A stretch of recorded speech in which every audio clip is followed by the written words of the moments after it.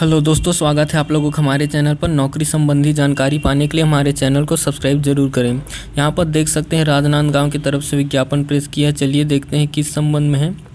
यहाँ पर देख सकते हैं, एकलव्य आदर्श आवासीय महाविद्यालय विद्यालयों में शैक्षणिक सत्र बाईस तेईस के लिए अस्थायी रूप से मानदेय पद, रिक्त पदों की, पदों हेतु अतिथि शिक्षकों के आवेदन, आमंत्रण की सूचना।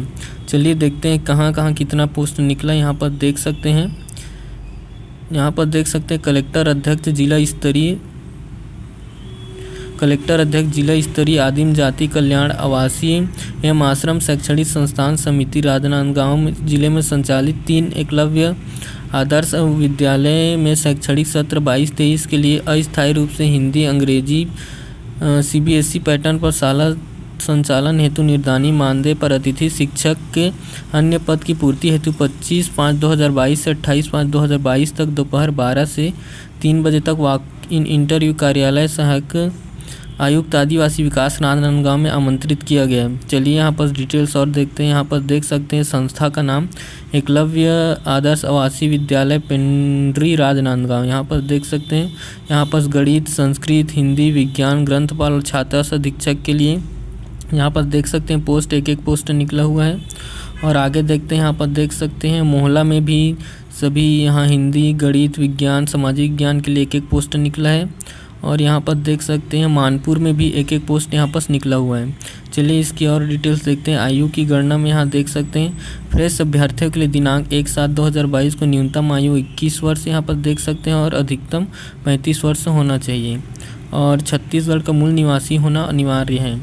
और इस, देखते हैं यहाँ पास पदों हेतु अनिवार्यता, देख सकते हैं यहाँ पास एन क्षेत्रीय शिक्षण महाविद्यालय दो वर्षीय स्नातकोत्तर होना चाहिए आपके पास और न्यूनतम पचास परसेंट अंक आपको अर्जित करना होगा। यहाँ पर देख सकते हैं स्नातकोत्तर की डिग्री जिस विषय में आपको यहाँ जॉब करना है, उस विषय में आपको स्नातकोत्तर की डिग्री होनी चाहिए।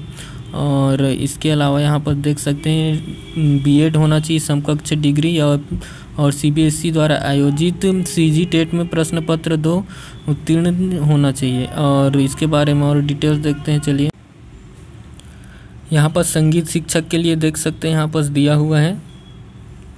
यहाँ देख सकते हैं, संगीत शिक्षा हायर सेकेंडरी में न्यूनतम पचास प्रतिशत अंक तथा मान्यता प्राप्त विश्वविद्यालय में संगीत में स्नातकोत्तर डिग्री हो संगीत शिक्षक के रूप में तीन वर्ष का अनुभव होना चाहिए, कंप्यूटर एप्लीकेशन का ज्ञान होना चाहिए। और यहाँ पर देख सकते हैं, शारीरिक शिक्षक के लिए भी यहाँ पर देख सकते हैं, डिटेल्स दिया हुआ है। ग्रंथपाल के लिए यहाँ पर देख सकते हैं, दिया हुआ है मान्यता प्राप्त संस्थान से पुस्तकालय विज्ञान में स्नातक होना चाहिए।